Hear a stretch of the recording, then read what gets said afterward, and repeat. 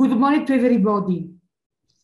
Thank you for your presence in this online meeting regarding three years project funded by Italia Agency for Development Cooperation and implemented in Wau from 2018-2021 in partnership with AMREF and HARD, a local NGO.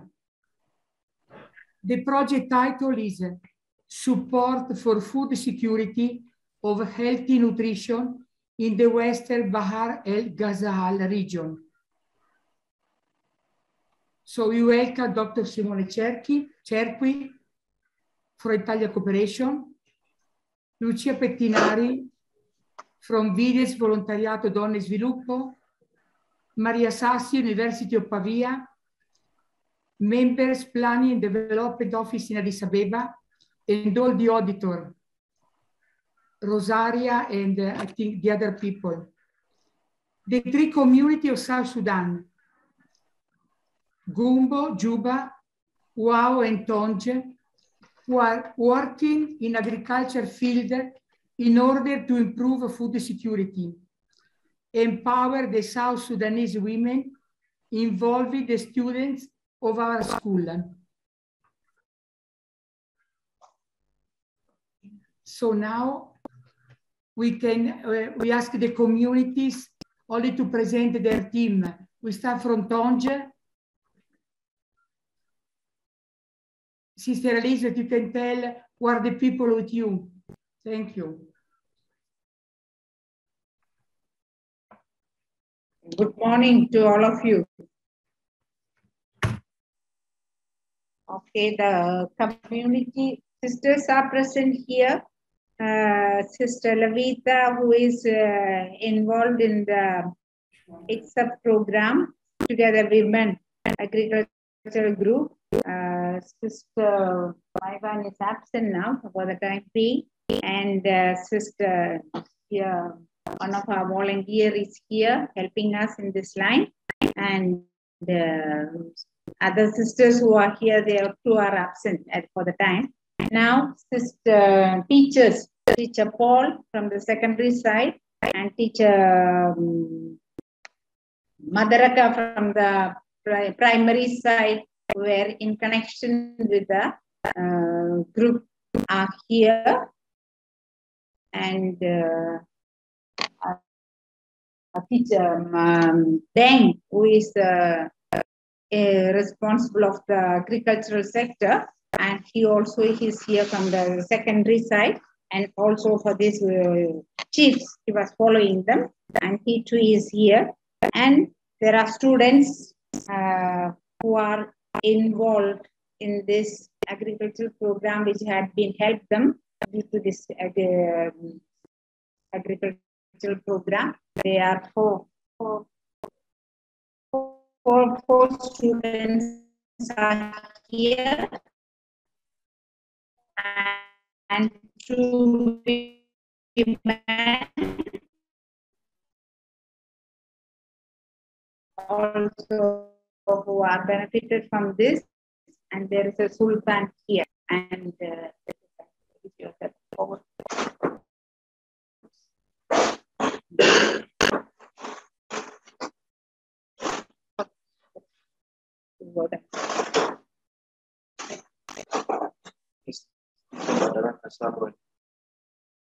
in charge of the eight sons given the primary and their families.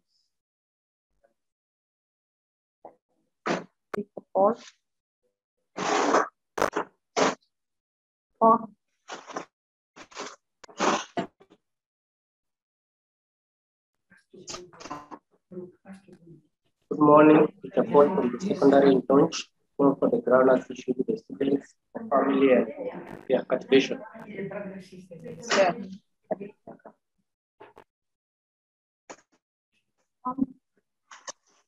I'm Sister Lavita, uh, came uh, just this year in February uh, 2020, 20, sorry, 2021.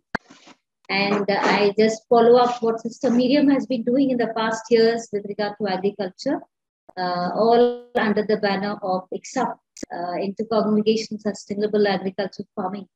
I'm very new to this place and new to the cultural background and the farming. Uh, but uh, together with Mr. Dang, who is an agronomist, uh, I do get technical support and that also from the sisters who know this work, who has experience of the past. Thank you very much. Sorry.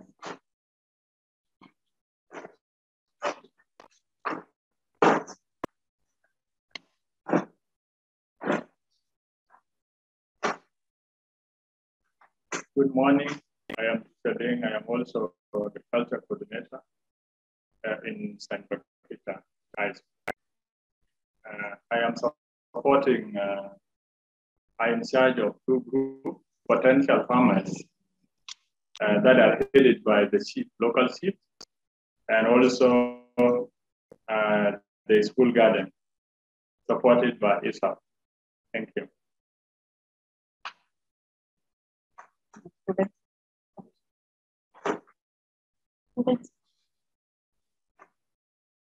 Come, come. They are telling me, calling me that you don't need to be long. Okay. Okay. Yes. I'm Julia from secondary side. Also got some help from the SACs which were given by the sisters. Morning. Elizabeth Fetch. I got some help from the Sister. Elizabeth, can you put off the video because you, we can hear you uh, clearly. If you if you put up the video, maybe we can hear you clearly. Okay. Yes, thank you. It's me, Elizabeth. It's me, Elizabeth Fetch. I got some help from the side of the high school side from the SACs. Thank you.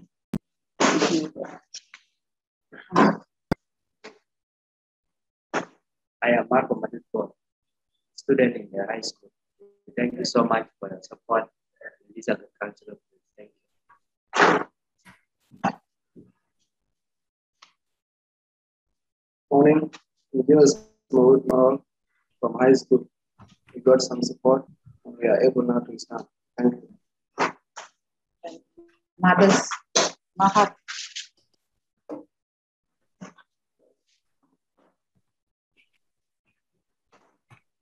Okay, thank you very much. Now we continue. Good morning, all. Some, some more people to be introduced. My name is my name is Rose Sarokchol. Thank you for this program because it's helping us. Thank you.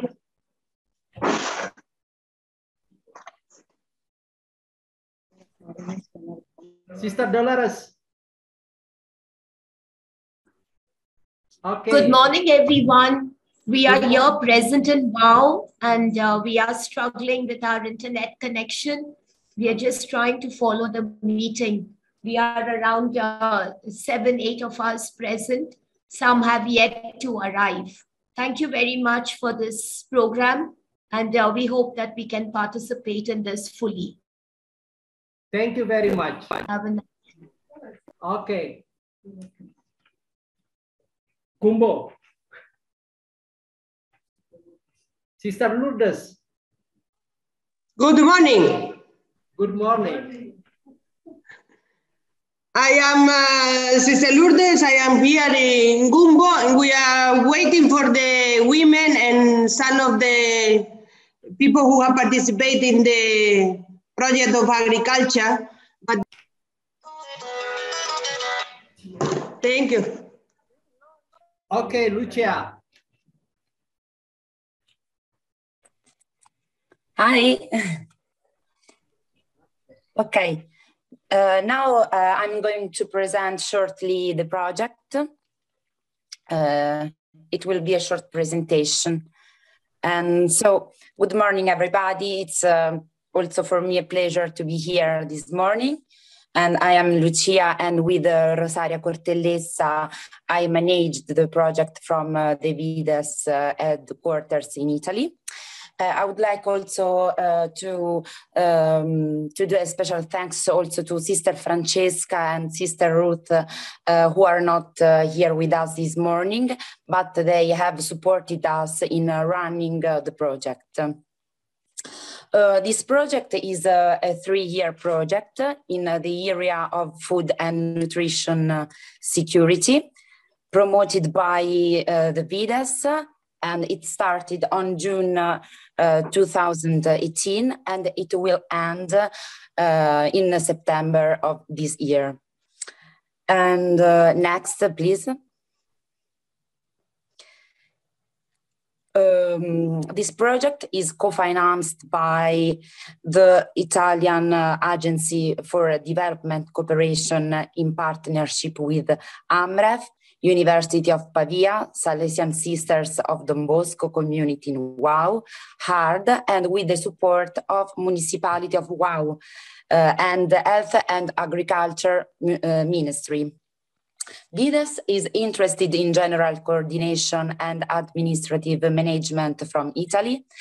Instead, the Salesian sisters focus their interest in administrative management and the logistic support on site and um, also in operational coordination of activities, information and information. University of Pavia, on the other side, is uh, uh, overall dedicated in uh, data collection and research with the creation of a system for it. Uh, it also make a nutrition database and at the end uh, it put uh, in writing the final report on the evaluation of the results.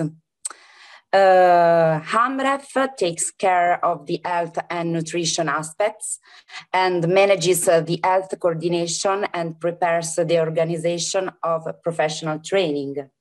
Finally, HARD um, uh, focuses on agricultural production and the empowerment of the most vulnerable local communities, overall through uh, income generating activities, technical coordination, meeting content, monitoring, and the creation of working groups.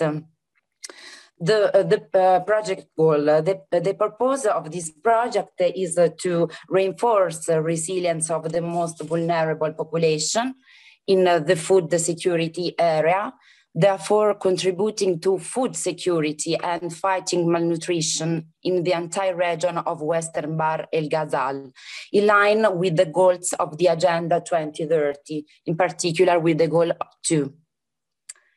Next.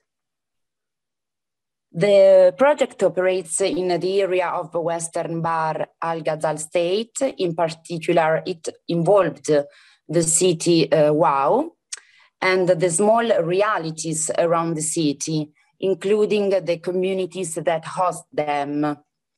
It developed mainly in the city of Wau, starting from the current disastrous situation, such as the 90% of the south of the people find themselves, a global situation with a lack of health and humanitarian assistance due to the war, and um, for, um, 48% of the South Sudanese population faces crisis and emergency acute food insecurity.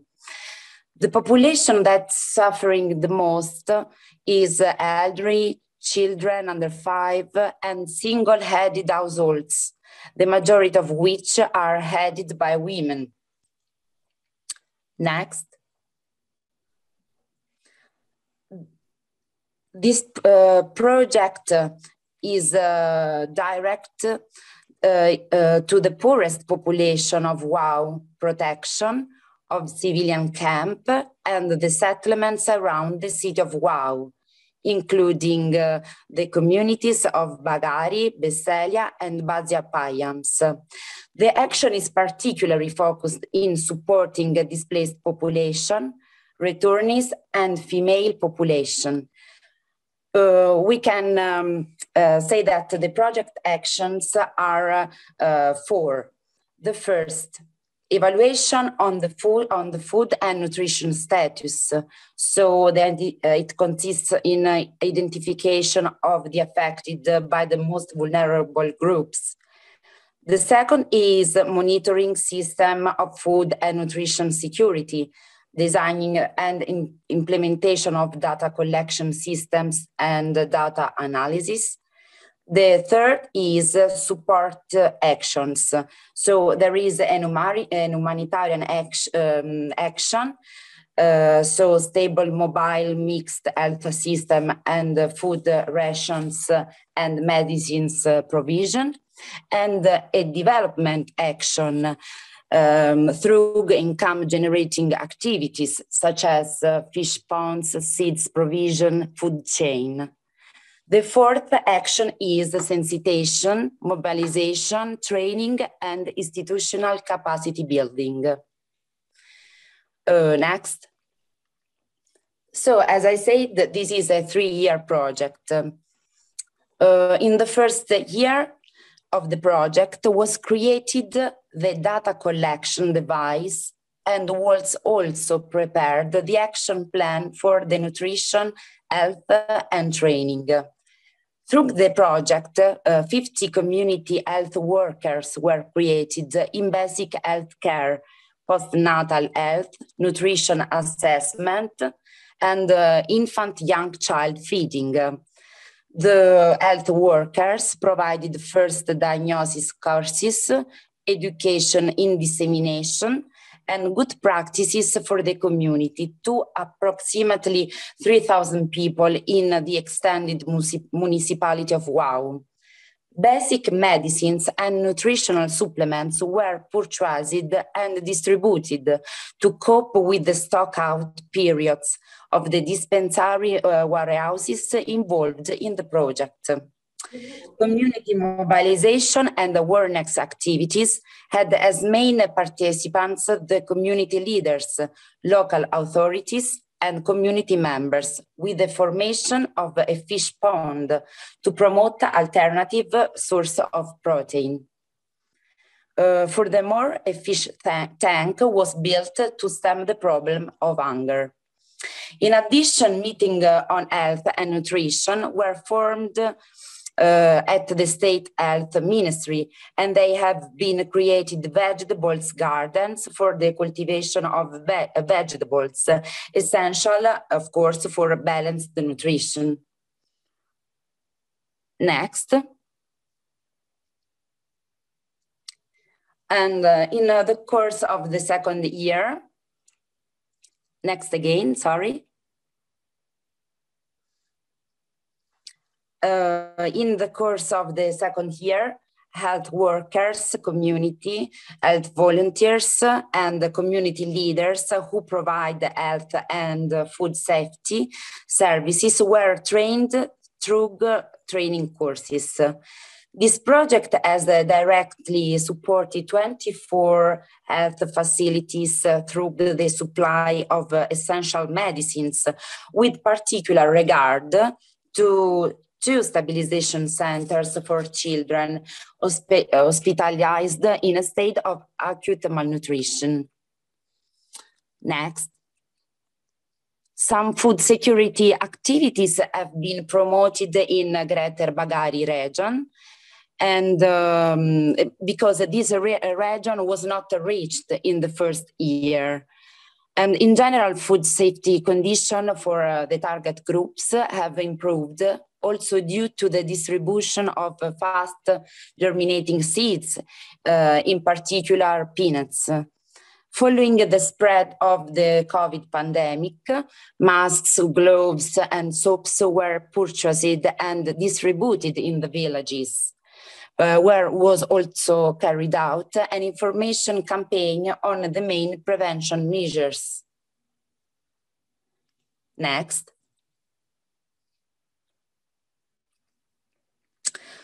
Um, finally, during uh, the first semester of the third and the final year of the project, the research activity continued and the database on food safety and household well-being was updated.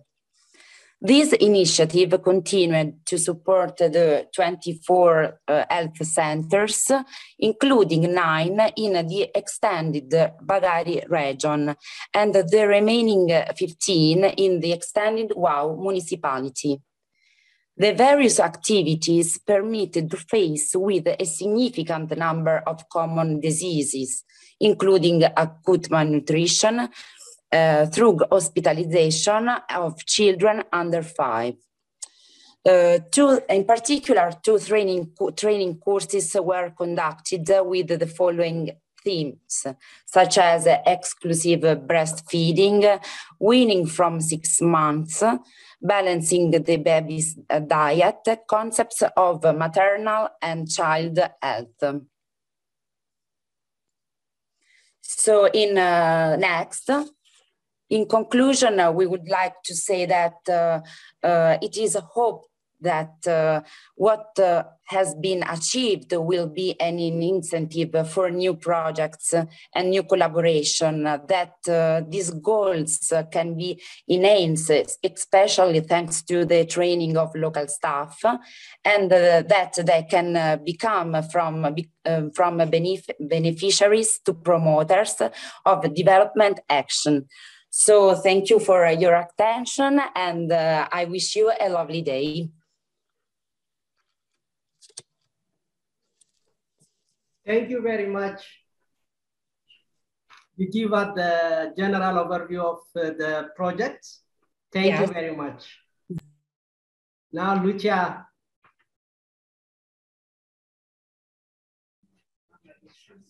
I mean, sorry, Maria. Yes, thank you.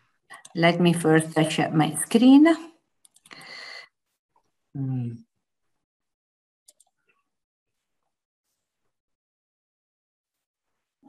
Uh, first of all, let me thank VIDES for the organization of this initiative that allows me to present and discuss with you some of the evidence, uh, um, evidence uh, from our research activity. Uh, the research activity had a specific role in this project. Uh, this role was uh, to inform interventions based on evidence. And this is very important because if we have uh, evidence behind intervention, we can make them coherent with the context. And this was the major purpose of uh, our activity that lasted all the three years uh, of the project. I would also uh, like to thank you, the participant to this meeting, because it's very important for us at this point to have your feedback, uh, especially for uh, a future mm, projection. So uh, let me start with my presentation. As I was mentioning, our focus was on household food security and livelihood in Wau. Uh, as uh, Lucia mentioned, uh, our uh, project area was in uh, the el region, the green area in this map, and we zoomed into the western Ghazal, and especially in the district of Wau. Uh, uh, is uh, an interesting region. The name translates as a Sea of Gazelles from Arabic, and this name is from the river um, you can see in this map uh, that pass through uh, the region. And this is to say that uh, this is an area rich of natural resources and uh, especially water, unfortunately not fully exploited. However, if you focus on this part of the slide, I would like to show you the triangle in which we operated. It is uh, the triangle including one Wau, Biselia, Bagari, and Bazia. So we consider the, the, reality of the city, Wau, and the reality of rural areas, of remote rural areas, that of Biselia, Bagari, and Bazia. And when we uh, started our project, uh, it was uh, the area of Bisselia, Bagari, and Bazia were not accessible due to conflict. Luckily, on the 12th of September 2018 in Addis Abeba, the warning parties in South Sudan signed a new peace agreement, and this peace agreement uh, allowed us to uh, enter into Bagari Bassi and Basilia and uh, um, include uh, in our sample also the households of that area. We interviewed 1,381 households and they represent, uh, they are a statistically representative sample. Why it is important to have a statistically representative sample? Because the conclusions of our analysis can be extended to all the population, hmm? not only to the specific households we interviewed. And uh, as Lucia was mentioned, uh, we deserved uh, a specific attention to training. We started our activity selecting uh, local enumerators and training them. In this beautiful picture, you can see our enumerators after the training course with the certificate in their hands. We also supported enumerators during the first uh, survey submission. Here we are at, uh, uh, we are starting from uh, one of the first submission just to train them on how to interview uh, people. We also trained data entry uh, and we explained them how to organize an Excel file for uh, data imputation. We explained them how to uh, clean the data set. And uh, I'm pleased to uh, inform you that uh, some of these people are now using the competencies developed in this project as a numerator or a data entry in other initiatives. And I think this is a very important result of the project because human capital is a challenging issue in South Sudan, and, but I'm turning on this point very soon. We dedicated um, a lot of time uh, explaining our uh, project to the communities involved and discussing with uh, representatives, the chief and paramount chief, about the initiative and how we could uh, improve uh, our analysis. They provided us valuable inputs to our questionnaire. Here we are at the POC discussing with the representatives of the community, the Wau POC. While here we are in Bagari with the Paramount Chief our first project manager and the chief of the area.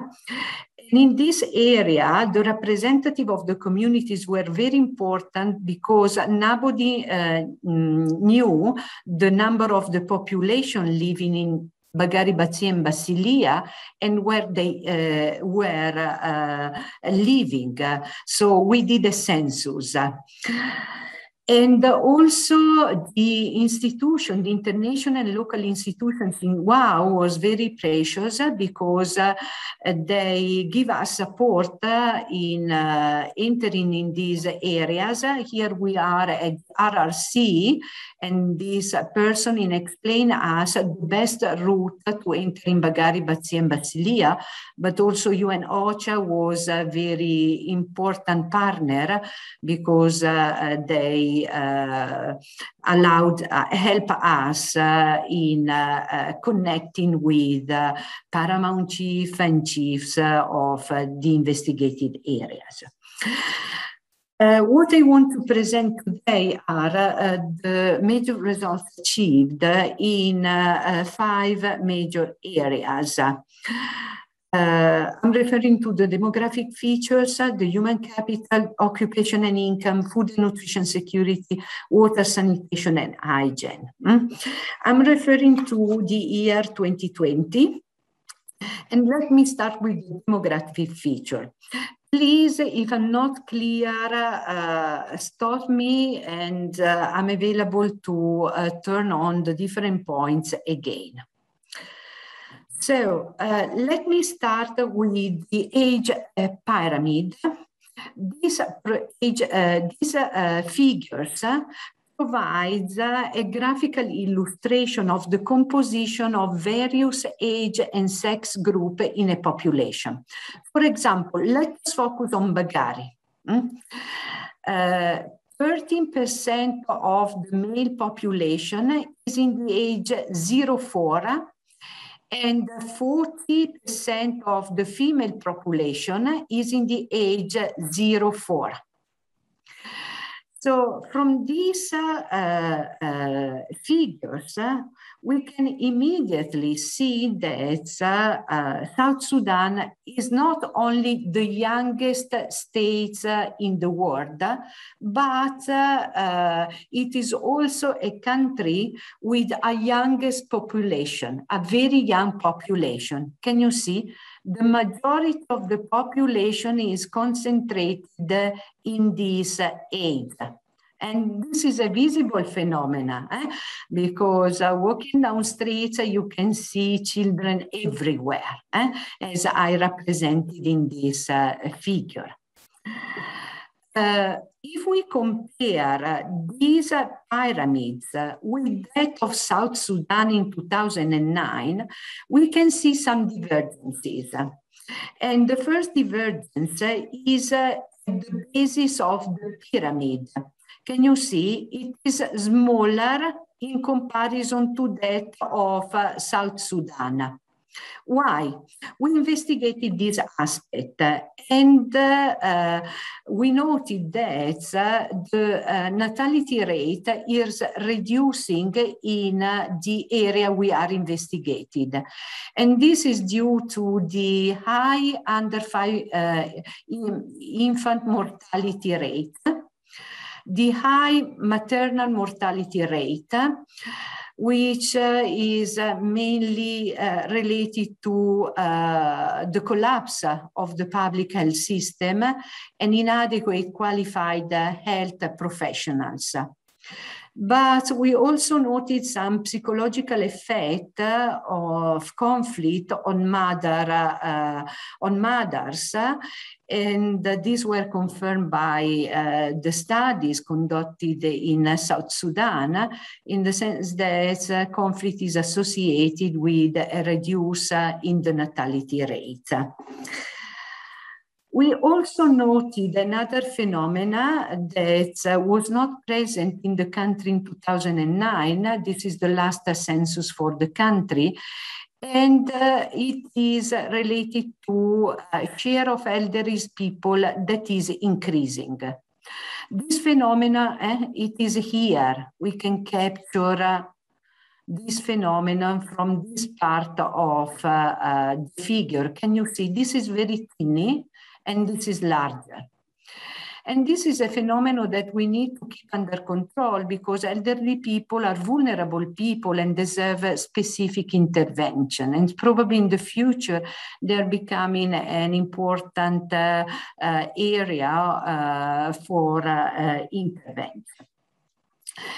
Let me uh, make another general consideration based on this age pyramid because the fact that we have a large basis uh, means that the people that are working have to support a large number of children. Hmm? And they have uh, to pay for their fees, uh, for school, uh, for their health care, and so on. And this is the same for the economy. This means that uh, the people depending on uh, uh, the working population uh, should be uh, um, uh, monitored and clearly understood. Let me show these numbers. From what we have understood in our data set, each working person has to support at least three people But this is an underestimated uh, number because uh, we also find found extended families uh, in the sense that one family with one working uh, person is also supporting at least one or even two other families. Mm? And this would not be a problem in a developed uh, economy, but it is a very big problem in a situation in which poverty is widespread. In this figure, we have the share of households uh, by poverty level. The red bar of this histogram uh, represents the share of the very poor household in our sample, the light red, the share of poor, and the other are uh, non-poor households. And as you can see, especially in Bisselia, Basia, and Bagari, uh, uh, poverty is uh, uh, a dramatic phenomena. Also in Wau, but especially in Bisselia, Basia, and Bagari, we have a widespread working poverty. What does it mean? It means that we have a situation where the majority of families, uh, or almost the totality of families, uh, with at least one person in paid work, have a household income below the poverty line. Mm? And it is difficult to support uh, the, uh, uh, all the members of the family. We also find a high rate of unemployment that is making this situation even more dramatic. And uh, uh, the unemployment rate uh, is also related to lack of job opportunities. Job opportunities are compromised by a fragile and unstable economy and a widespread situation of insecurity that limits the availability of jobs on the formal market but uh, uh, job opportunities are also limited by uh, the quality of the human capital.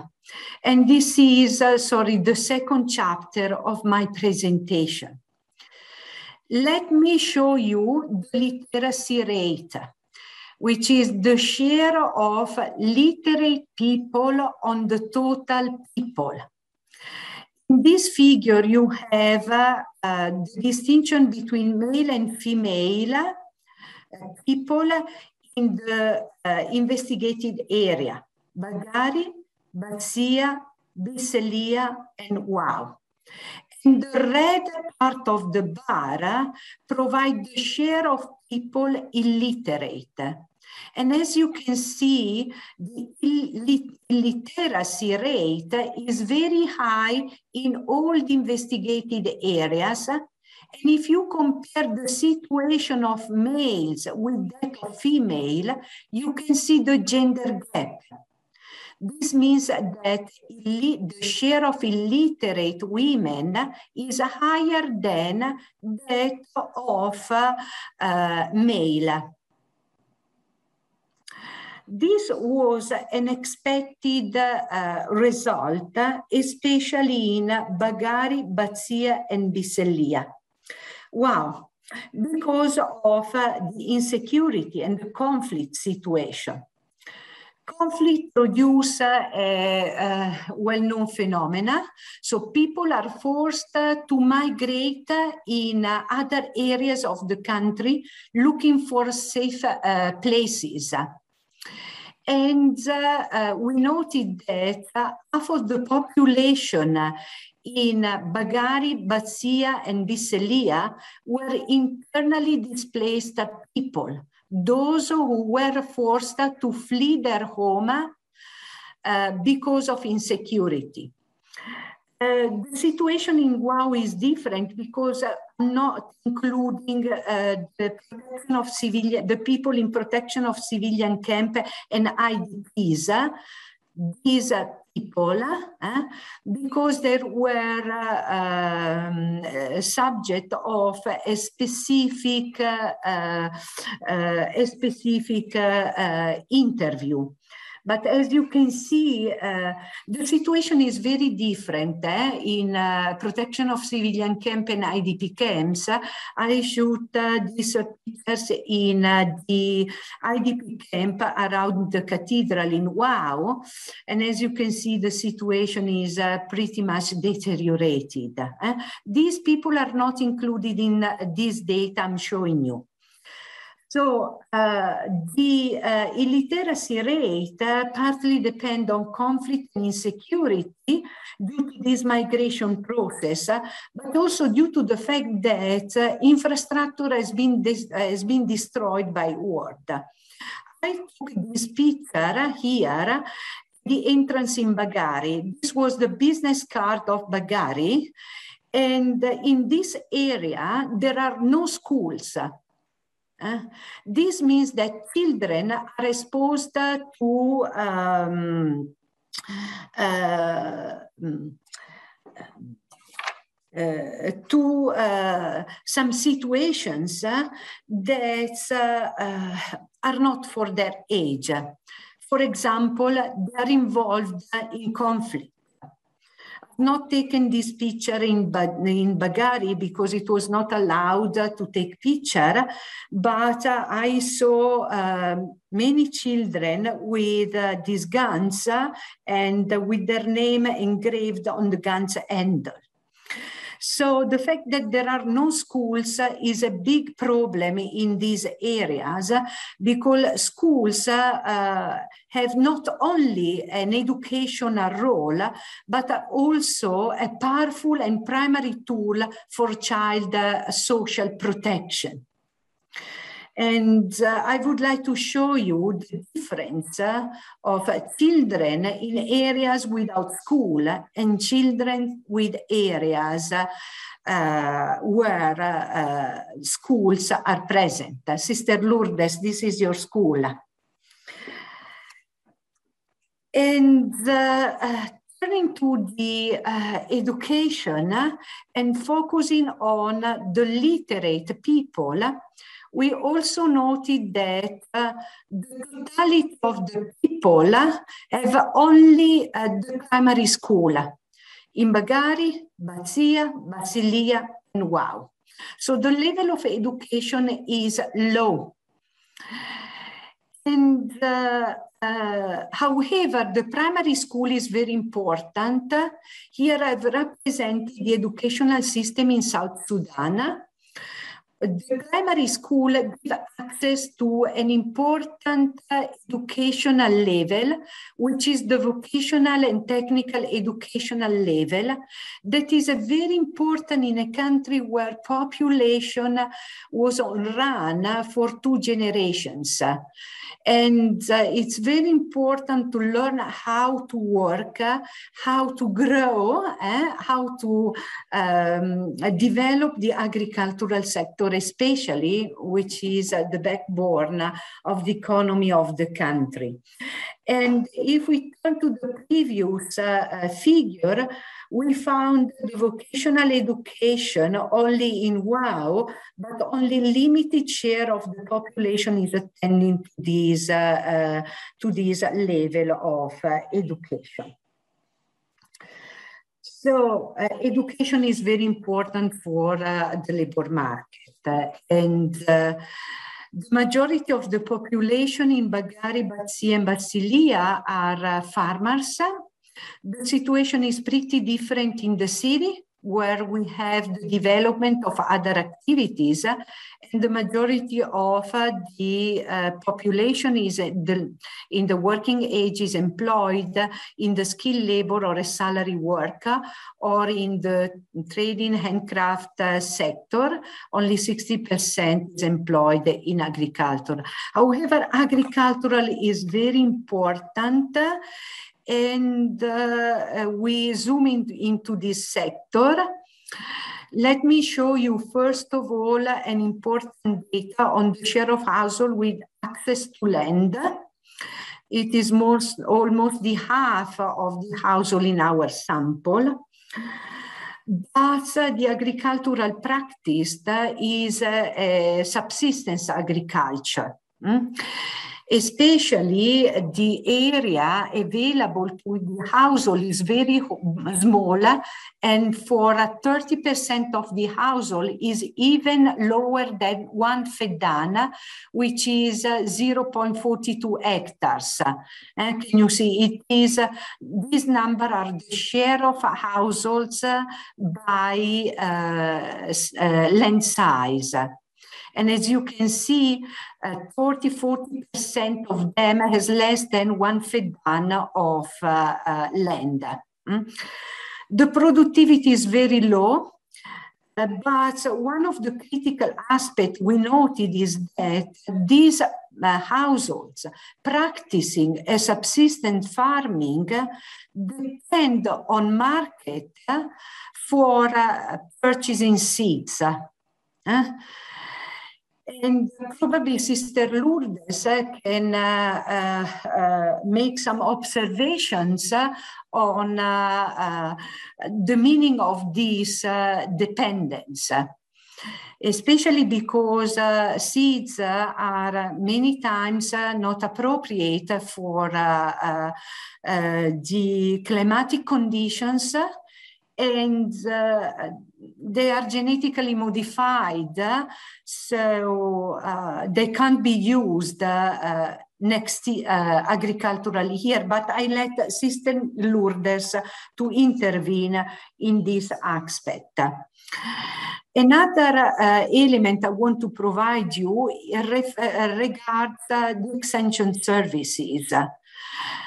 The provision of these services is very limited. extension services are assessed by maximum 8% of the households. And they are provided by uh, international organization or NGOs. So there is no limited local capacity to provide extension services. And this is another important gap. I would also like, uh, and this is the final uh, information I would like to provide you because this is important for further uh, um, uh, for future project to provide you information on the main challenges uh, faced during farming. Uh, here you have uh, the share of household that indicate the different challenges is important. Mm? And as you can see, one of the major challenge was a shortage of rain and dry spell because agriculture is conducted according to a rain-fed system. It strongly depends to rain. Mm? Then we have uh, pest and diseases, shortage of seeds, of agricultural tools, expensive inputs, lack of marketing opportunities. Those are the major constraints we also noted in other areas. Probably Sister Lourdes or the group in Tonj can uh, provide us uh, feedback on these uh, uh constraints. So let me go to food and nutrition security. The situation is very deteriorated. Let us focus on this figure. Hmm? Here I've classified the household or the share of households by food security level. The red bar uh, is uh, uh, represent the, the share of severe food insecure households. The light red, the household uh, moderately food insecure, and the other half the food secure. Can you see, especially the severe food insecurity is accentuated in our areas, in the project area. And this justify the intervention in this direction of our project because the situation is very dramatic, is very dramatic. And this is the picture of uh, food security in uh, uh, the period we investigated. But there is something behind because uh, these households are not only food insecure, but they are also very vulnerable to further shocks. Eh? So they're not able to support other shocks, eh? Uh, such as climatic shock or economic shock or conflict. And uh, we uh, used evidence to test this, um, this situation.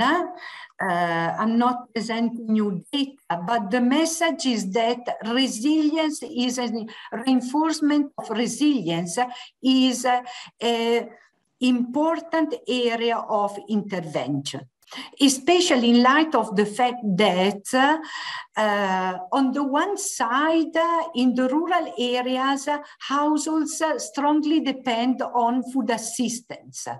Here you can see that the basic food cereals, um, um, legumes, and oil, fat, and butters are provided the majority of the households by food assistance. In Bagari, 63% of households re re receive cereals from this source. They are 65 in Basia and 78 in Bisselia. Without food assistance, these households can't uh, eat uh, cereals and grains. On the other side, in uh, Wau, households depend from market uh, for basic food items. And uh, this is not a problem if you have adequate money, but if you are poor, economic access to food is compromised. Mm? And this is a, the other side of food uh, insecurity, the side of food insecurity into the city, into Wau. We also investigated the nutritional status. This means uh, uh, the understanding of uh, uh if the macro and macronutrients are appropriate. And in this figure, uh, we have the share of households by frequency of consumption of protein, vitamin A, and iron. Just to give an example, in Bagari, 47% of the households are not consuming protein 45% consume at least from one to six days protein, and only 6% consume protein uh, seven days. This means that there is an inadequate consumption of protein, iron, and it seems that the situation is better for vitamin A. But uh, this uh, figure generates uh, a bit of suspicion, and I further investigated this uh, uh, situation. And during the focus group discussion, uh, we noted that uh, this high consumption of uh, vitamin A was due to the consumption of wild food. Mm? This is an important coping mechanism in times of anger. For example, 56% of the household in Bagari consume wild food, 74% in Basia consume wild food, 77% of households consume wild food. Eh? This is an important coping mechanism. It is uh, the dominant food consumed by poor vulnerable households, and it is the only source of food during the hunger season. It is a way of filling stomach uh, full and uh, reducing the sense of hunger. So uh, the uh, results I show you, uh, it's of sure, uh, it seems to be very positive, but it must another severe situation. My last chapter concerns water, sanitation, and hygiene the situation is very deteriorated. Eh? I, for example, uh, access to improved water is limited. Uh, water collection is mainly uh, done by female adult. It is the 47, 46% of the population con collecting water in Bagari, uh, 49 in Basia, 52 in Bisselia, and 73 in Wau. The women are responsible for water collection. What is important to note is the time necessary to collect water. Here we have a huge difference between the rural areas and the city because uh, for more approximately half of uh, those collecting water in the rural area, it takes from one hour to less than half a day, while in city, it takes less than 30 minutes.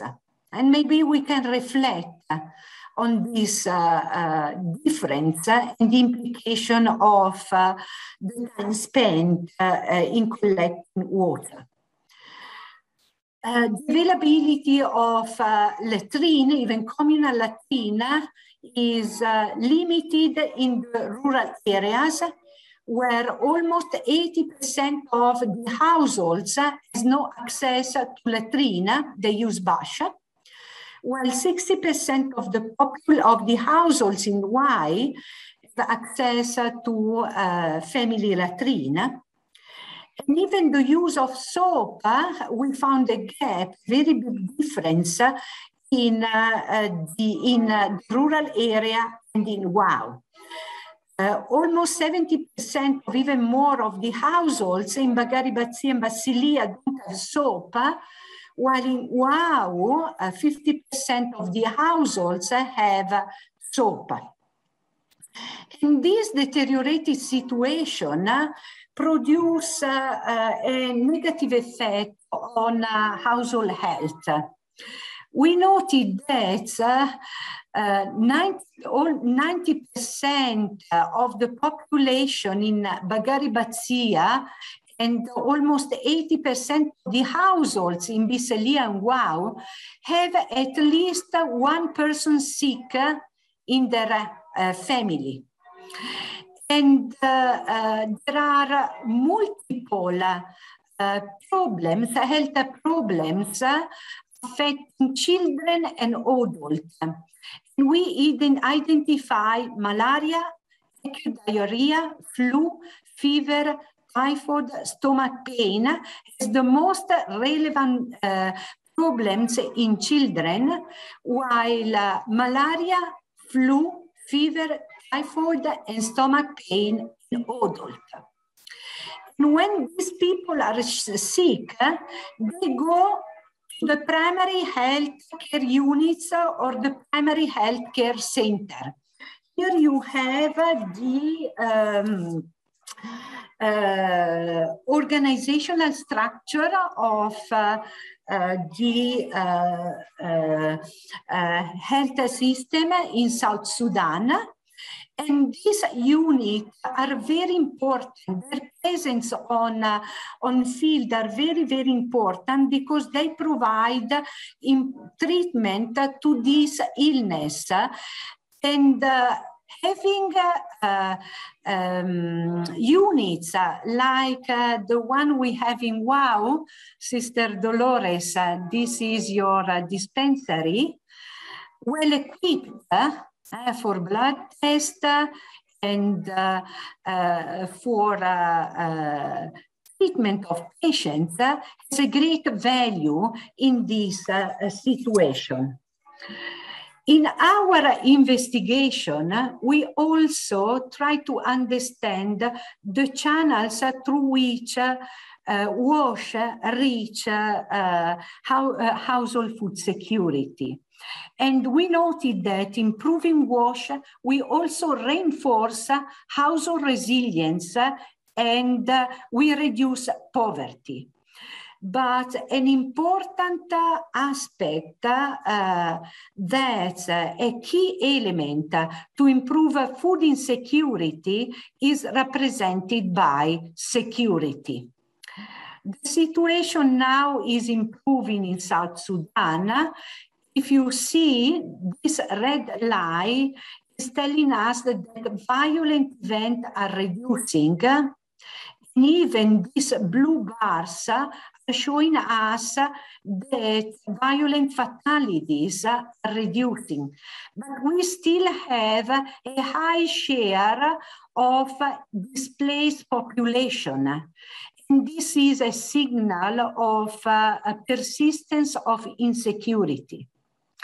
Therefore, if we want to promote development, we need to promote a peaceful and inclusive society.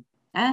And this means to focus on the 16 um, uh, goals set by the United Nations.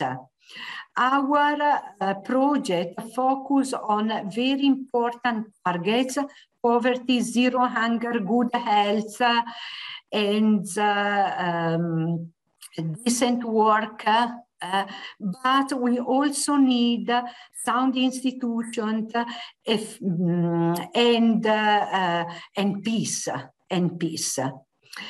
And uh, I would like to close my presentation with uh, this slide where you can find the website in which we collected uh, all uh, uh, the results of our research activity. And here you have a very beautiful picture of uh, the warm welcome I received at my first arrival in Wau. Okay, we are trying to divide the presentation. Will be just uh, each uh, one of the member present here will uh, start to share one aspect of our experience with the agriculture in the in Gumbo. So yes, I pass the voice uh, one by one. We'll start to explain different uh, aspects. Then if you have any question, you just uh, tell us if you can hear well or not, so that we you know we stop and we try to improve. Okay?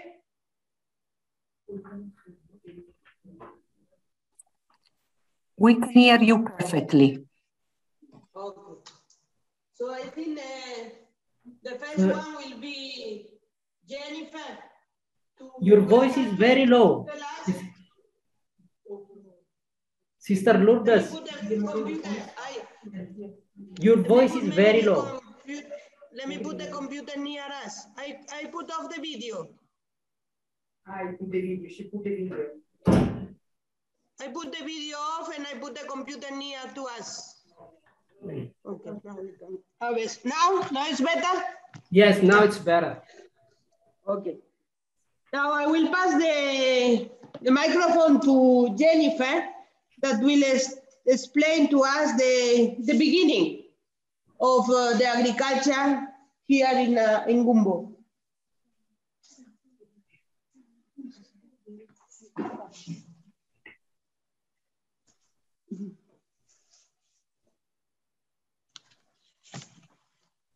Nice to see you.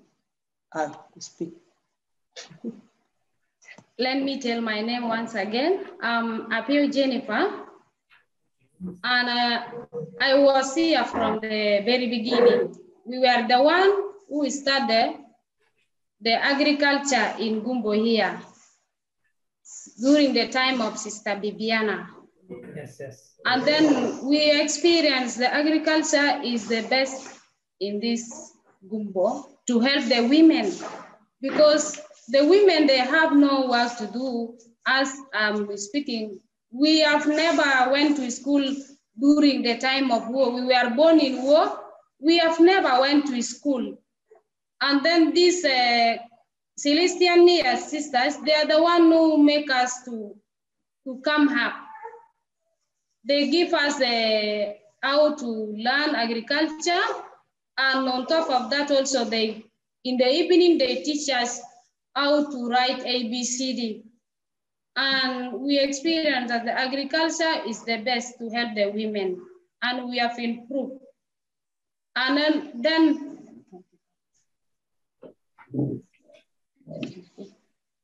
Then from there, the project has come. When the project starts, and then the women are, is coming, coming. We were many, and we have improved our life because of agriculture.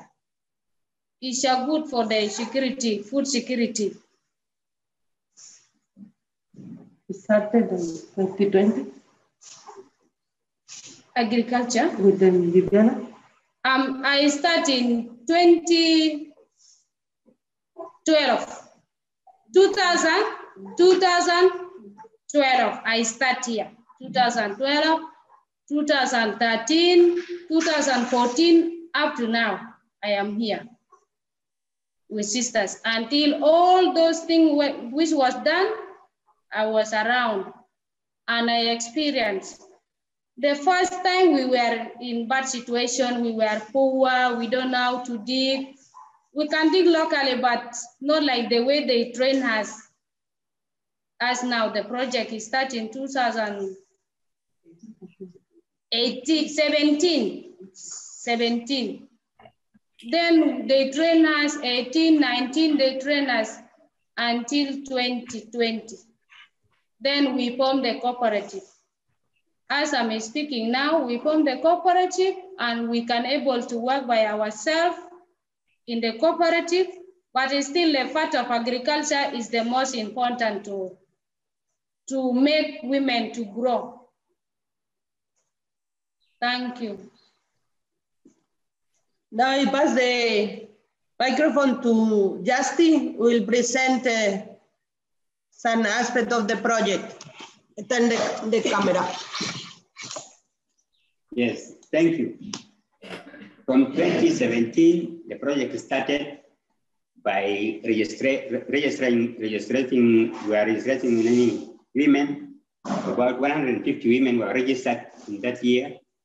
Then we formed groups, three groups of one, two, three different groups of women, a group of 50 each. Then we organize the women, train them in class, then giving them also lessons in the field. Then we started giving them, giving each farmer a, a kind of uh, 12 by 10 area to, to practice the what she learned in class. Then we continue the lessons, also continuing the demonstration in the field, little by little, then the women are getting the knowledge. We're giving them from subsistence farming to modern agriculture.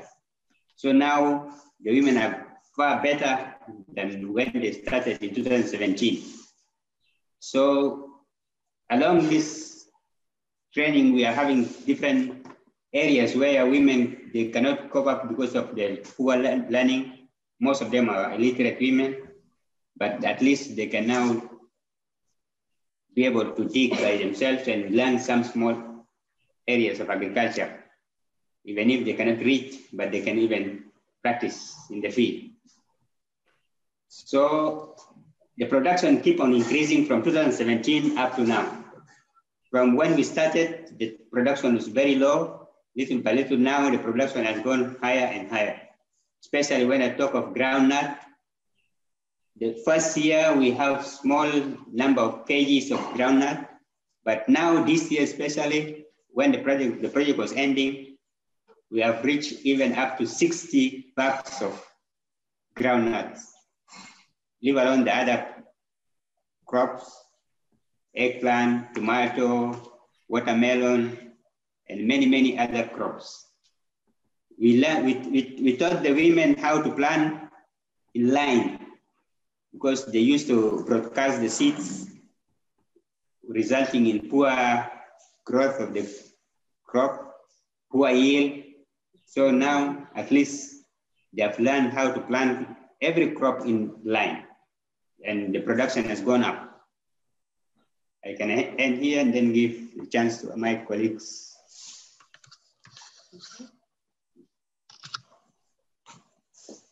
This is Joyce who's talking to you. I'm here to present the, the part of challenges that we are having during the project until now. The most of the challenges that we are having, it was um, a scarcity of seeds, because in South Sudan, we are lacking seeds, and most of the seeds is coming from NGOs. NGOs are one um, distributing seeds to farmers, and then they will be able to produce. But if they did not, they did not uh, distribute, we cannot be able to get the source of uh, the seeds. And also, some other seeds we are getting from the market, but uh, it is not viable. Others you may plant it and it will not germinate. You see, these are the challenges. And also it may not come in time. It takes time when the rain season is almost ending. And the other challenge is also it was um, the soil. The soil is being exhausted that we have been planting since, since 2017 until 2020. The, seed, the soil is being exhausted. Despite all the challenges, but we are able to produce the crops to the market. Thank you.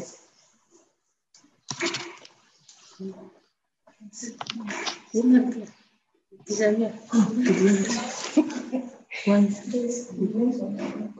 technical problem. Oh, what's happening here? So sorry, sorry, sorry.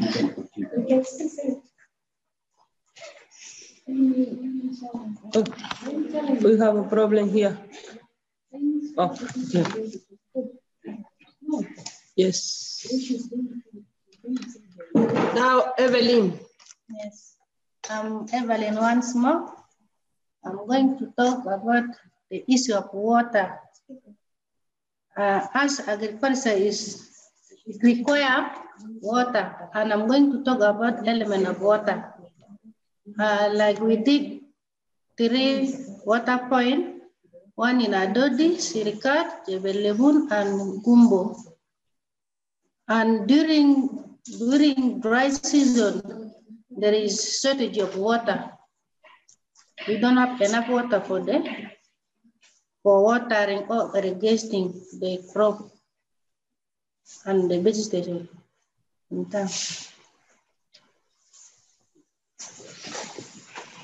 Then Jane, or John, not Jane, Joan. Joan. Okay, this is me, Joan. I think I'm going to explain more about the lack of uh, seeds in agriculture. We are facing a lot of uh, big challenges seeds. Like the women, they have the energy to cultivate, but we have and not enough seeds as a as a as a what as agriculture. And mainly sometimes when we go to the market, we buy seeds, they are not germinating in our soil.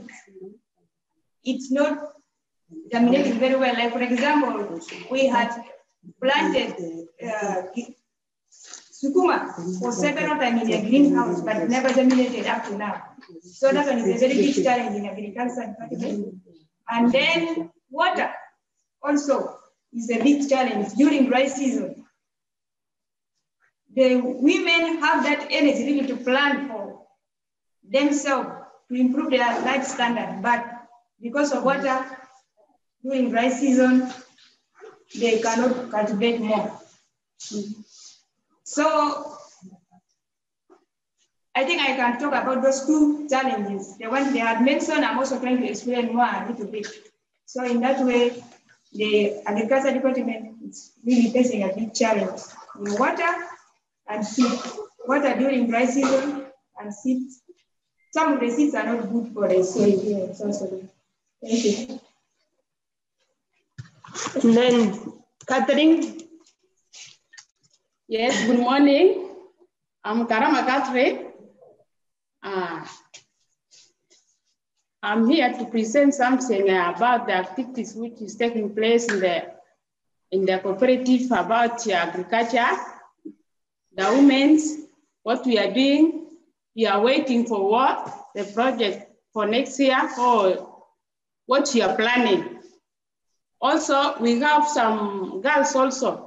For example, we have uh, Laura girls. We, they're also training about agriculture.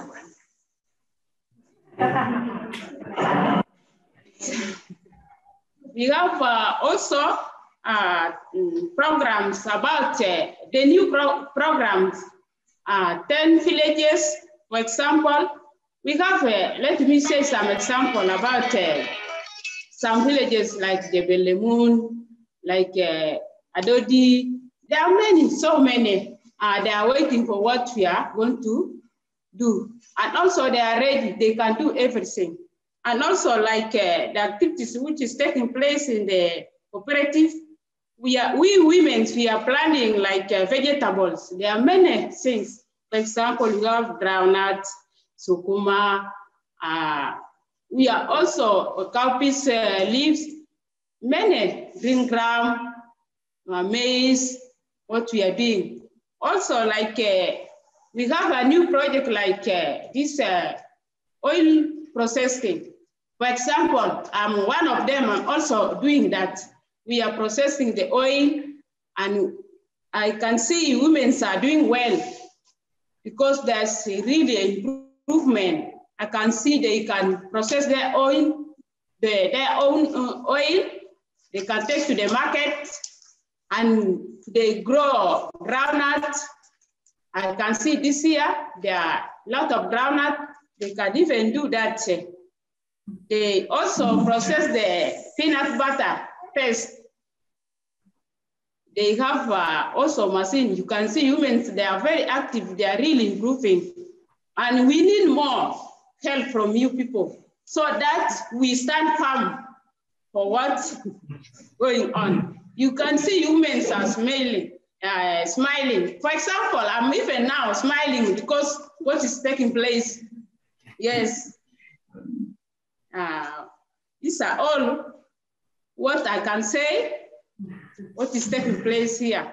Even the girls, small girls, you can see uh, 200 girls, eh? they can um, dig, they can plan, they can say their own thing. You imagine the improvement is really taking place. And we say, Justin, you are really a good teacher. There's something taking place. And we, we need more. Yes.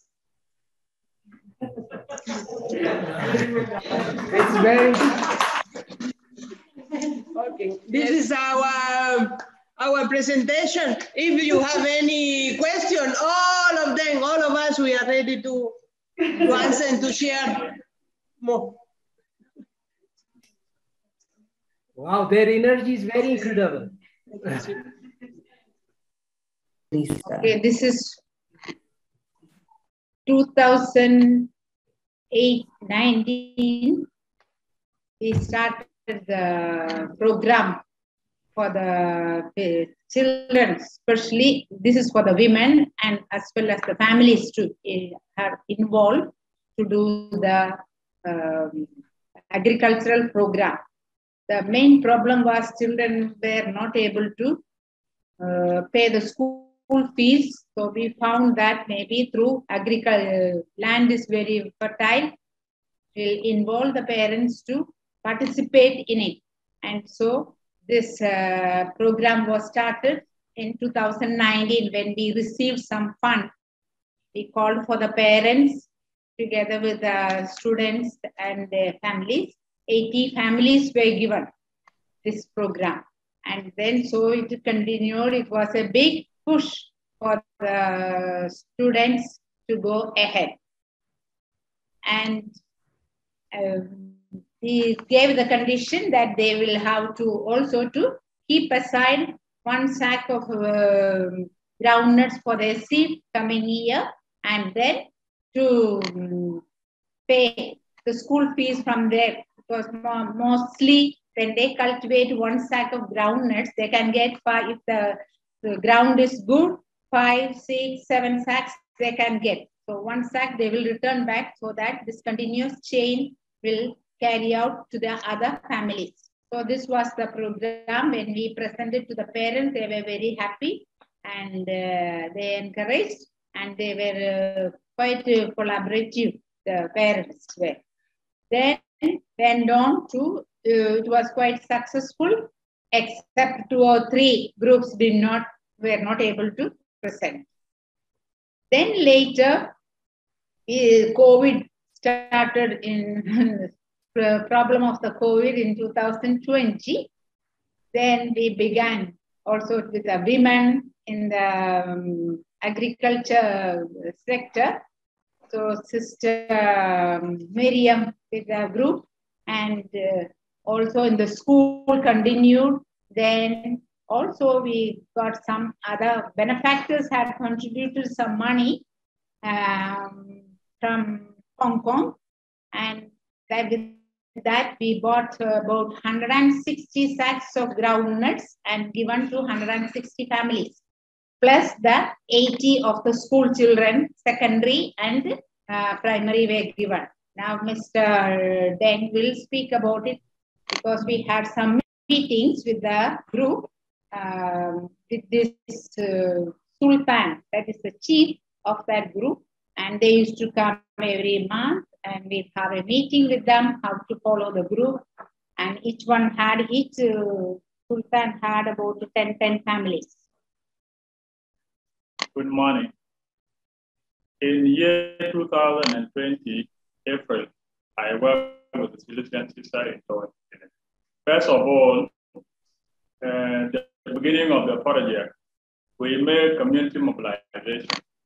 We talked talk to the chief in order to identify the vulnerable people that are supposed to be helped. So we target uh, 16 chief. I mean 16 chief exactly. And one chief uh, to bring 10 uh, beneficiaries. So that makes the total of uh, 160 beneficiaries. So we support them, give them sack of groundnut, telling them that when you produce, you should you have to bring one back and then continue with it because you, secure uh, the seed now. In, in Tonj here, when you plant one back, one, one sack of groundnut, it can bring you five. So you bring one and then remain with the four. Sometimes if the soil is more fertile, you may get six or seven sometimes. So you bring one back and then later on, the beneficiaries that benefit from the project last year, 2020, we told the chief we don't need those beneficiaries again. We need another vulnerable group to be supported. So the chief gave us again uh, the new vulnerable group. We support them this year, 2021. Again, we have a project uh, of ESAP. Uh, I want to appreciate the ESAP. I think in South Sudan here, the second is school, the students are not being supported by NGOs to have food in school. So it is really a challenge to them, but I thank ESAP for supporting our students in order to have their own farm. Next year, they can benefit from what they produce. Only we have some challenge, and it is challenge beyond our capacity to control. We have a dry this year, the rain, rain lately, but sometimes we try in order to plant uh, short-term variety, uh, Dura. Uh, hopefully, uh, we shall get uh, the produce, but not good produce because we have been uh, affected by, by the drought. That, that is a challenge we have. Now it is the season whereby the potential farmers are ready to make harvest. We are expected to return uh, the, the one bag that they have taken by each beneficiary. And later on next year, we can also target another uh, new beneficiary. New beneficiary. We want to balance the community because if you benefit this year, you cannot also benefit next year. No, we want to equalize people. Yeah, to have their own seat. Yeah, so that is uh, that is our plan. Also, I had a suggestion. Uh, if you may help us, uh, we need you to continue with this support uh, to the people of Tonj and also, yeah, to the people of Tonj, so that they should have to send by their own. Thank you.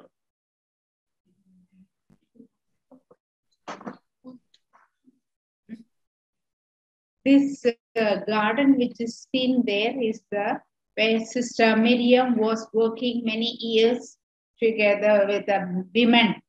Every year she had in the earlier year she had 50, sometimes 60, sometimes 80 cases, and she herself will be present there with the women, and then she is to animate them, uh, encourage them to cultivate and earn their own food.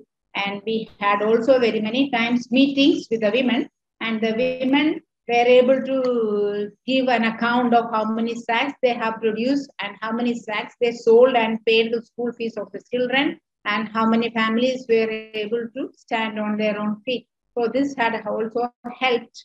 And when the seasonal cultivation is over, rainy season is over, we also made facility for the water um, solar system that also with the help of some benefactors, solar one solar system is there.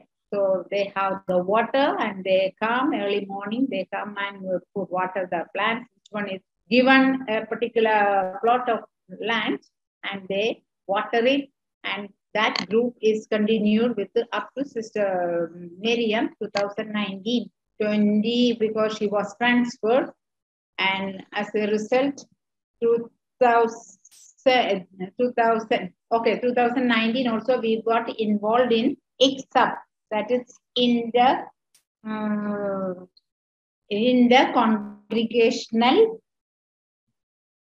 um, self, uh, sustainable uh, agricultural project. So that was uh, started by different groups, that is uh, by the, the Franciscan um, missionaries.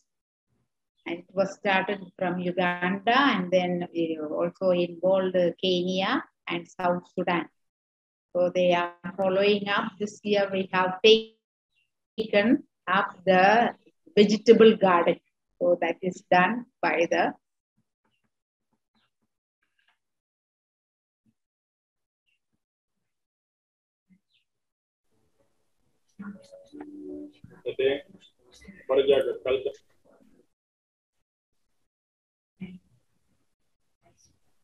Okay, Sister Elizabeth. Huh? Now it's sharing, yeah? Okay. Can we start? Ah.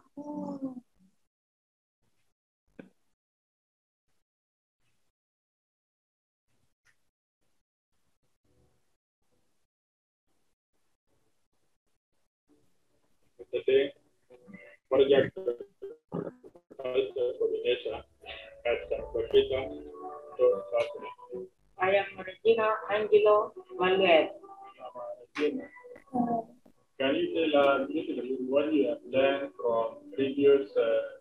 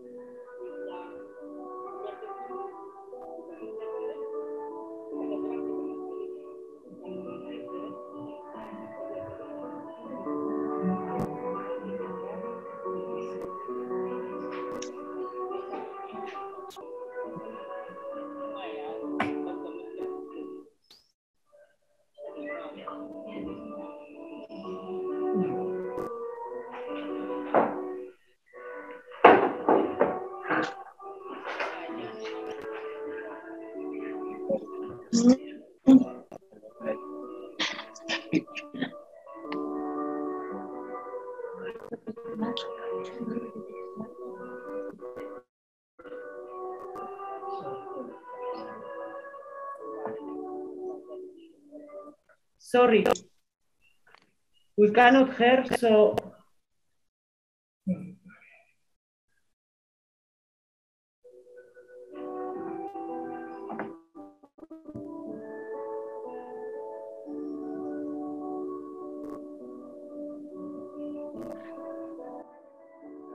in South Sudan, we have food insecurity Uh, one of the things, other communities, they just, they are pastoralists. They rely their life on pastoralists. They just look after the animals. The climate is also a factor. If the rain is not reliable, so the farmers may not have a good produce. Uh, the civil war that scared the farmers not to produce well because of fear of unknown attacks.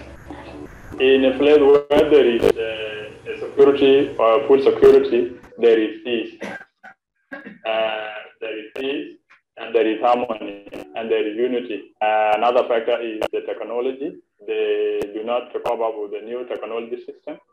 Uh, I should have to appreciate uh, the benefactors uh, that help uh, the Bakhita High School uh, about the project of agriculture, that they can help to produce their own food, you know very well.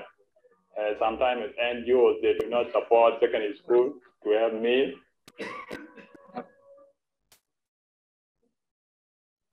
For me, what I have picked in that training, so it is how to use the the tools, and also how to be independent. I got uh, the, the tools that we are, have to use in the modern way of cultivation, like uh, uh, and also the one of explore. When you have a big land, like the one that you will not manage by using your, your own maleda, you cannot manage. So, and if you use those tools, then you can manage that big land. Yeah, in South Sudan, many people really they don't prepare land. These few numbers that I've just joined this course, we learn how to prepare land. There are many ways that they are used to prepare land, then later how to plant the seeds, how to harvest, how to, to how to restore the crops. There are some pests and diseases that are eating the, the, the seeds, but in this course now, it will prevent, it will prevent our seeds not to be eaten from any pest of this. In the course, we learn three main things. First was uh, how to cultivate, like we have a spacing between the plants so that the plants can share the nutrients and also so that the plant will grow big and they can produce much. Secondly, how to control pests and disease, like to spray and also to weed the plants earlier. And thirdly, of the storage. The storage should be near to the production place so that they can be removed and stored at that place.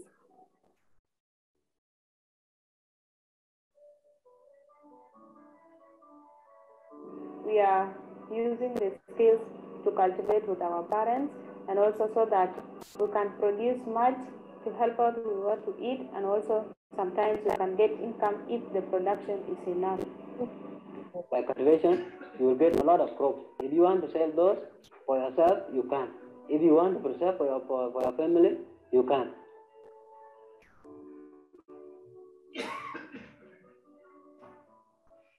Mainly we are doing this production so that we can have lunch at the school. As you know, many people, many parents, they don't have enough food at home.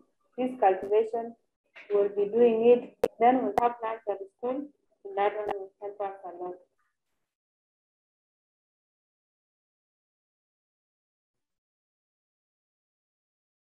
the rain this year is not reliable uh, due to the climate change. That is the problem that facing us. Maybe this year we shall not be having a good produce.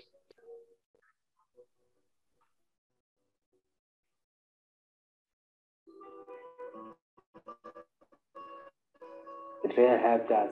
It taught us to not only think of this time, but also to have visions. It gave me an inspiration that I look into that in future I will be able to see agriculture not only as a time to wait for the rain and be in cultivating, but also irrigation as also a method of providing food for my country. Okay. Like now we are stuck because the rain came late. Then oh, it will not be a problem after years to come because we'll be able to take up the irrigation as something that we can do, irrigate our plants and get our food we need whenever we need it, not depending on the rain. And thank you so much for the chance that I got and to able to have this inspiration. We hope by the help of our benefactors we stand by our own. Thank you very much.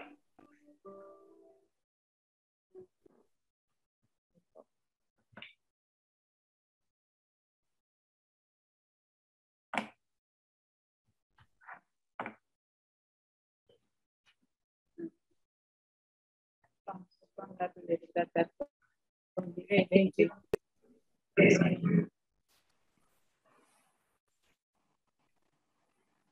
We have some of our participants here able to speak.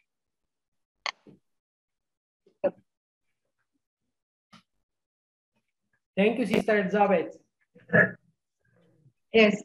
Now you can continue. Can- you have something, yeah. Can some of our participants here, can they speak? Yes. Yes.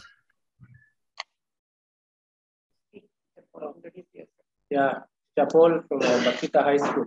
Just uh, sister introduced about uh, how we try to help the learners in the high school. Remember when we started the school in 2018, we later realized uh, some of the students are are from very vulnerable homes, trouble with school fees and other personal needs. In 2019, we started a project of giving them seeds for cultivation on condition that they cultivate properly and return back the same amount so that it's given to the next group. In 2019, we started with the most vulnerable who were, were struggling with school fees the previous year. They were very faithful. That means it was in the second year. Senior twos faithful and they did their cultivation. And the next year, they're able to return the sacks. And last year, during time of COVID, still the ones who are around us, some had gone to their villages, but the ones who are around us, so we were able to, to continue with the same project. We gave them the seeds, and also they were faithful, they were able to return. It's a project we have seen great importance. Students are happy because they are uh, able to stand on their own and pay school fees, and also provide for their uh, other personal needs because they come from very poor homes they are able to buy their uh, stationery and other personal effects. So we continue with the project even after the senior course complete because the school is continuing and they just hope for the best. Thank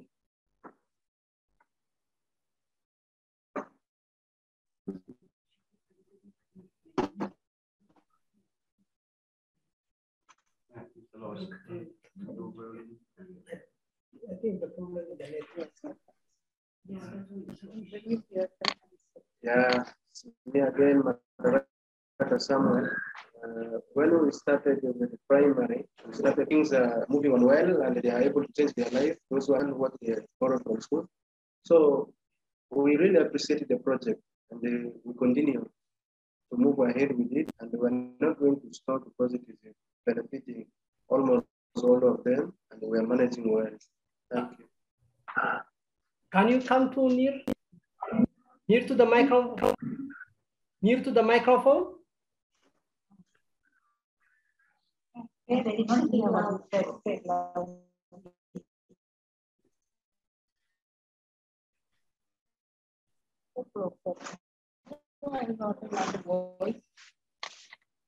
Samuel, uh, I said that uh, we started well with primary 2019, and therefore it is benefiting almost all of them. And uh, since we started, there's no problem. They're able to change their life, not only here in the school and also back home.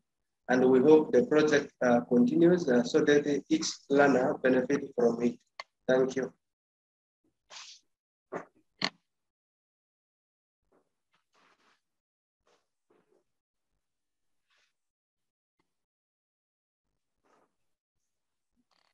My name is Rose. I want to speak the side of the ladies. This program really is very good. Me, I'm very happy with this program. Ladies are the ones suffering here in Sudan. If you helping the ladies to cultivate, this one is can helping us. You, you get your own food and then you take your child into school. And then if you sick, you say you go to hospital. Me, I appreciate the sisters. I thank the sisters because of this program. They start 2019. They give us, if you don't have something to, to start, you cannot start. They give us molodas and then they give us groundnut. and then we cultivate, we get, we get a lot of groundnut. Me, I want to thank the sisters and all people they are helping on. We want to continue with this program to grow up. Now here in San Bakhita, our, our children, they learn how to work. They know how to cultivate. They know to do everything here with the sisters. Sisters, they used to teach our children. Every child, they know how to do everything. But this program, I want to this program to be big program here in Tonj because they, uh, here, the months I don't have work. The ladies are the one work.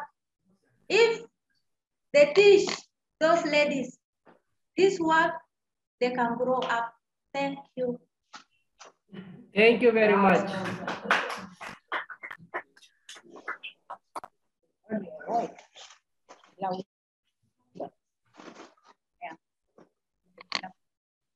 I'm Elizabeth Page. I'm Elizabeth Page. Senior two student. Senior two student.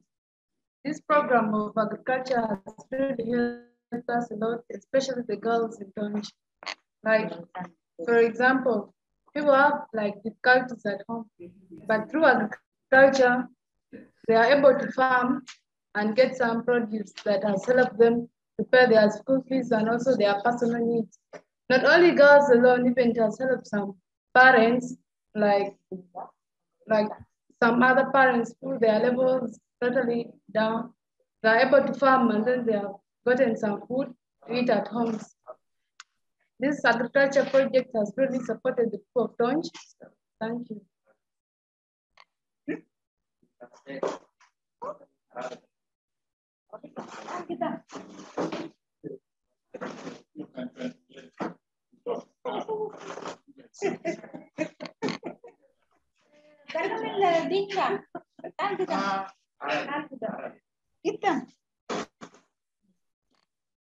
Salam alaikum sir. Ana asumije Silverio Gabila Bongo. Uh, he is uh, Silverio from Bongo tribe. Na Bongo to yine. Ana ya sultan to belede. He is the chief of that uh, tribe. Ana kan koro da mana da ka sa da ana shadid. He was uh, telling to the wife, I am really. Ka sa da na shadid lakin sana da kalas. Ina buga zuru ma sa ma fa So the, he was telling to the wife that sisters have helped, they have helped a lot. So now we are able to go ahead. The help which I received with the groundnuts. Now we don't have any problem. That is helping us to go ahead.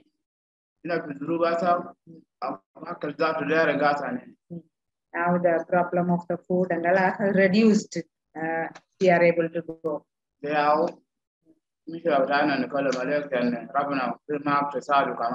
We are asking you to continue the help that will help us to go ahead. Give support to the sisters and sisters will give us, give it to us the same. That is my last word. Thank you. Thank you to you all.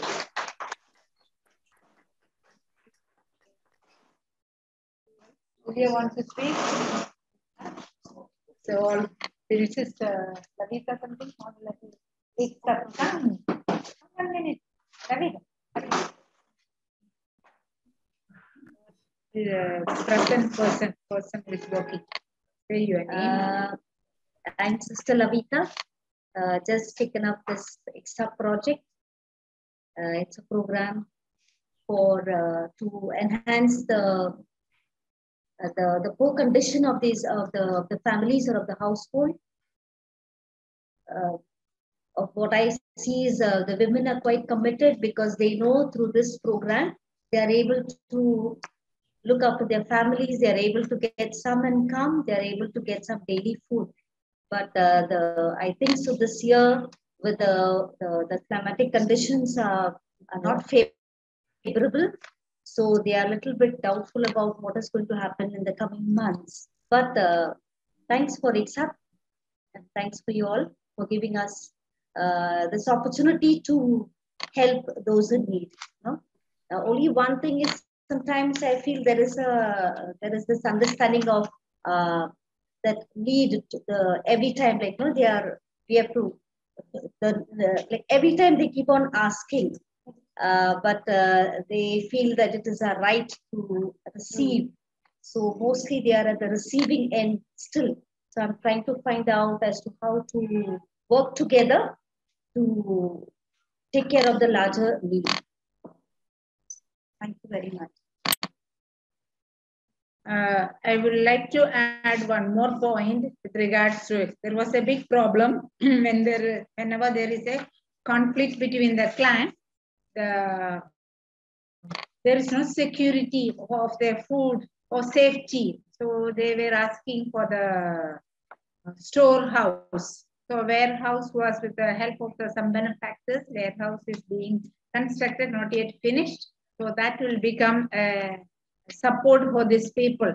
Sometimes the other group, they come and they set fire to their house, to their foodstuff, or they rob, many things takes place. So very often people are on the move because of the uh, insecurity. So they prefer to leave everything and run away for, to safeguard their life, they run.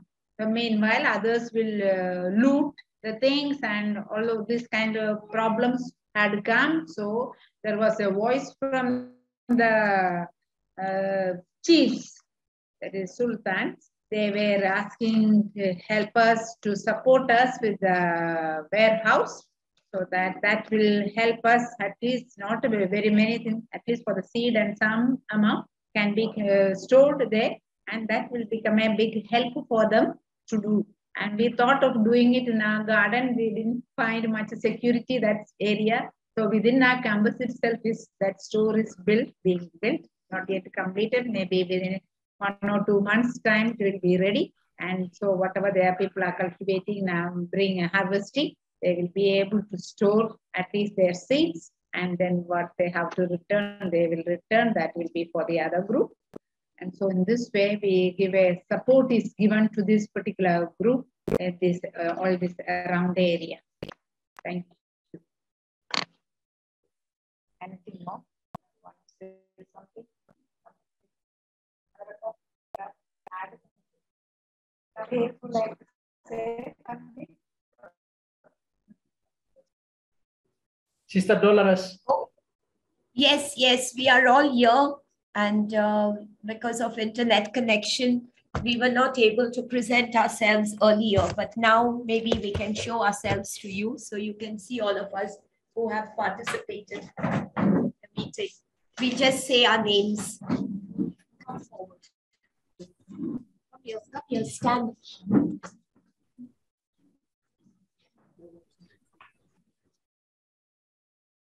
I'm Sister Bibiana, Director of Health Center, Sikadi PHCC. We are really very grateful this project, food security, where many beneficiaries benefited a lot. Thank you very much. And we hope uh, some other project continue to support us.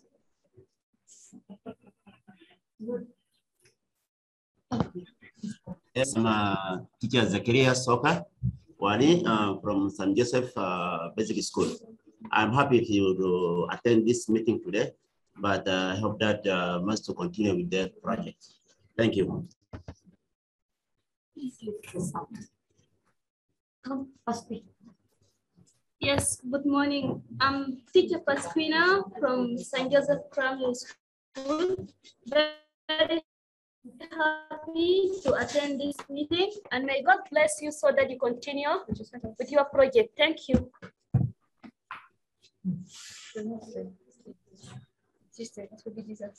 My name is Emmanuel Anthony Hukele, a teacher from St. Joseph Primary School. I would like to take this chance to thank you for the good presentation. Uh, we have learned many things and uh, I hope uh, you continue to support uh, South Sudan. Thank you for that.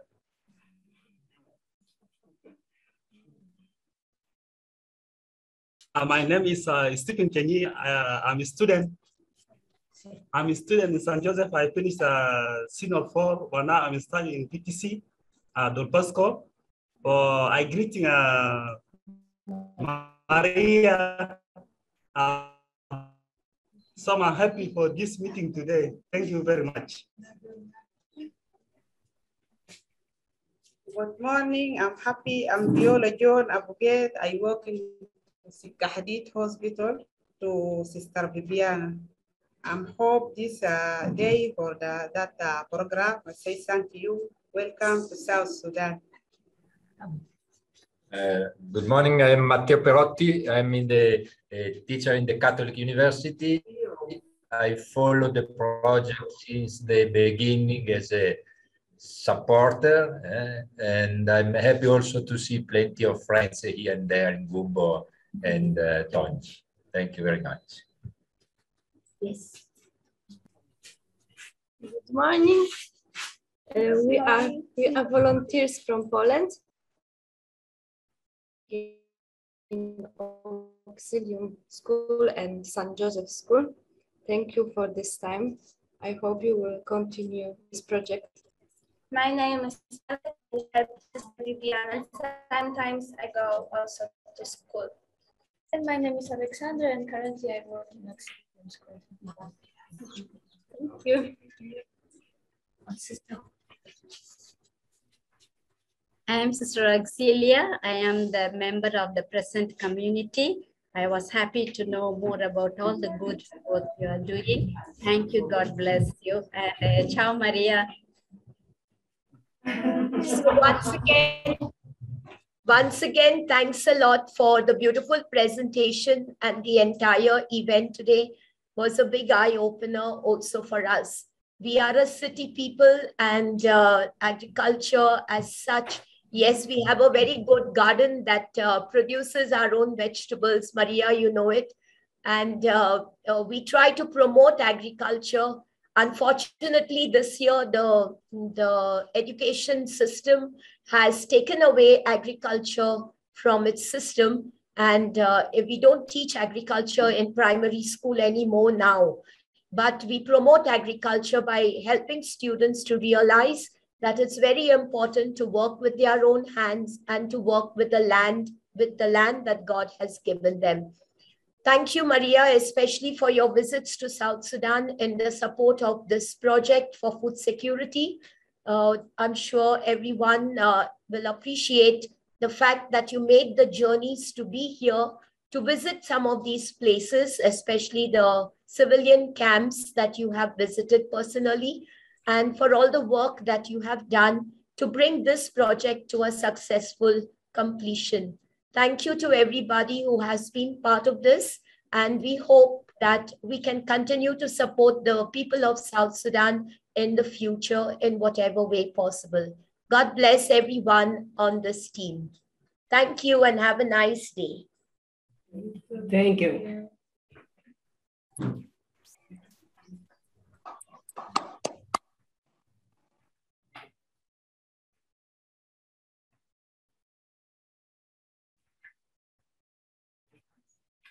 Okay.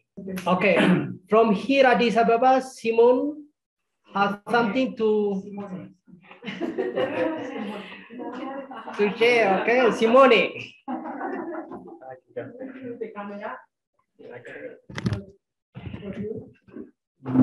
So, hello, good morning or good afternoon to everybody. Uh, wait, wait. Okay. This is Simone Cerqui. I'm uh, uh, the responsible for the Italian development cooperation for the program in South Sudan, not specifically for this project, because this project has been uh, uh, supervised by our headquarters in Rome, but for, for other emergency projects in South Sudan. So, uh, well, thank you very much for all the information that I received from your side today. It has been very interesting. And although I do not have a direct uh, understanding of the project because it was not under my responsibility, I could understand from, uh, from this meeting that um, as a matter of fact, the, uh, the, the, fact that we can meet and discuss the challenges and the achievement of the project at the end of it it means that the, the, the process is the project has been very successful. And from your, your feedback are really, really relevant for it. In first place, uh, the fact that uh, the, this project could tackle both the health, nutrition, and on the other side, the food security, it give a comprehensive uh, approach to the problems that uh, South Sudan is facing. And, uh, and that's very relevant. That's very, absolutely, is the successful approach that we, we are looking into in order to, to, to solve the problem on the long term, on one hand.